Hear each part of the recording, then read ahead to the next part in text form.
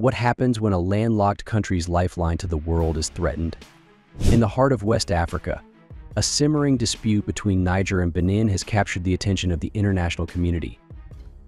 At stake is not only the economic stability of two nations, but also the geopolitical balance in a region where global powers like China and France are deeply invested. This is more than just a diplomatic row.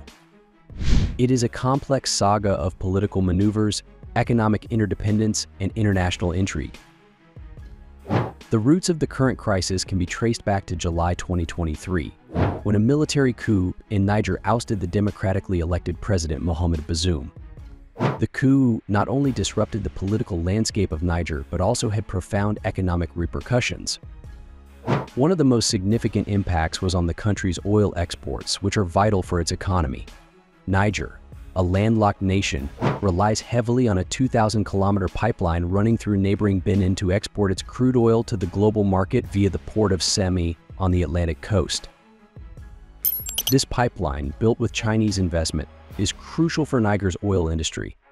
Before the coup, the pipeline facilitated the export of about 20,000 barrels of oil per day, with plans to increase this to 90,000 barrels per day. The revenue generated from these exports was essential for Niger's economic stability. However, the political upheaval in Niger led to a series of retaliatory measures from neighboring countries and international organizations, complicating the situation further. Following the coup, the Economic Community of West African States, a regional political and economic union of 15 countries located in West Africa, condemned the military takeover and imposed sanctions on Niger.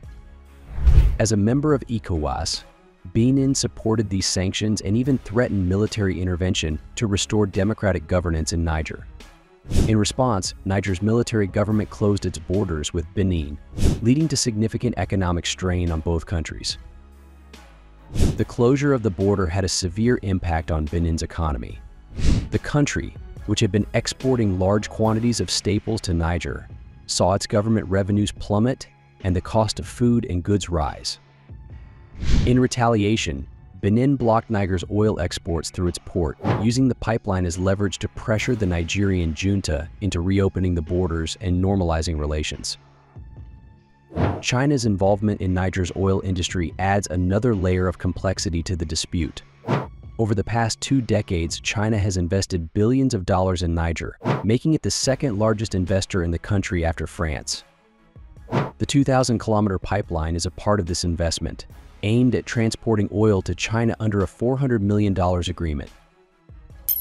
Despite the coup, China has continued to engage with Niger's military leaders, recognizing the strategic importance of its investments.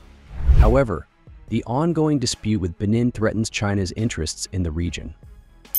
Without access to Benin's port, Niger cannot export its oil, jeopardizing the economic viability of the pipeline project. France, too, has significant interests in Niger and Benin. Historically, France has maintained a strong influence in West Africa, with military and economic ties to both countries. The current dispute has exacerbated anti-French sentiment in Niger, with allegations that France has secretly deployed troops in Benin to counter the junta government in Niger. France has denied these allegations, calling them baseless and part of a disinformation campaign. The suspension of oil exports to China and the blockade of the pipeline have severe economic implications for Niger.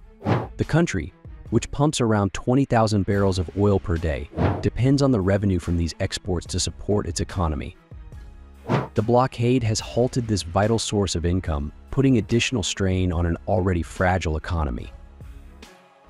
For Benin, the dispute has disrupted trade and increased the cost of goods, leading to public discontent. The government's decision to block Niger's oil exports through its port was a strategic move to pressure the junta into reopening the borders. However, this tactic has also hurt Benin's economy, highlighting the delicate balance of economic interdependence between the two countries. The dispute between Niger and Benin has far-reaching consequences for the entire West African region. The economic interdependence of countries in this region means that any disruption in trade routes can have a ripple effect, impacting not only the economies of Niger and Benin, but also those of neighboring countries. The potential for regional instability is a significant concern for ECOWAS and the international community. Prolonged conflict between Niger and Benin could disrupt the broader economic framework of West Africa, threatening regional stability and prosperity. The involvement of global powers like China and France further complicates the situation as their strategic interests are at stake. Diplomatic efforts are underway to resolve the dispute and restore normalcy. ECOWAS is likely to play a crucial role in mediating between Niger and Benin, given its mandate to promote economic integration and political stability in the region. The bloc has already imposed sanctions on Niger and threatened military intervention, but a peaceful resolution through dialogue remains the preferred outcome. Both Niger and Benin have a vested interest in resolving the dispute. For Niger, reopening the pipeline and resuming oil exports is critical for its economic survival. For Benin, restoring trade relations with Niger is essential to stabilize its economy and reduce the cost of goods. The challenge lies in finding a mutually acceptable solution that addresses the concerns of both countries while maintaining regional stability.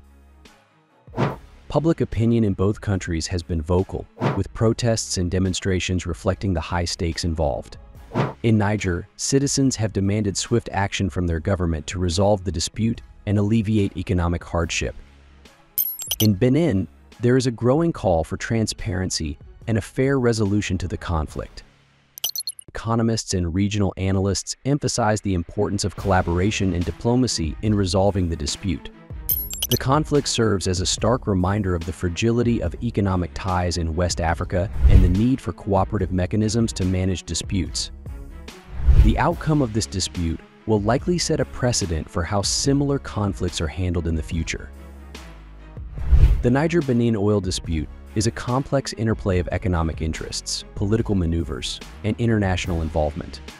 As both countries navigate this challenging landscape, the resolution of their conflict will have significant implications for regional stability and economic development. While the immediate prospects for a long-term solution remain uncertain, the potential benefits of cooperation and mutual economic gains offer a glimmer of hope for a more stable and prosperous future. This ongoing saga not only highlights the fragile nature of international relations, but also underscores the critical importance of diplomacy and economic interdependence in maintaining peace and stability in West Africa. The world watches closely as Niger and Benin grapple with their differences, hoping for a resolution that will benefit both nations and set a positive precedent for handling similar conflicts in the future. As the dispute unfolds, the actions of global powers like China and France will also be scrutinized, given their significant investments and strategic interests in the region. The outcome of this conflict will shape the geopolitical landscape of West Africa and influence the strategies of international investors in the region.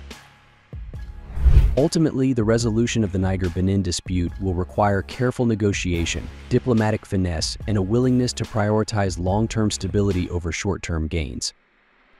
The stakes are high, but the potential for a peaceful and prosperous future remains within reach if both countries can find common ground and work together to overcome their differences. Thank you for joining us on Africa Info Hub. Kindly stay informed, share your thoughts, and don't forget to subscribe for more nuanced perspectives on Africa's geopolitical landscape.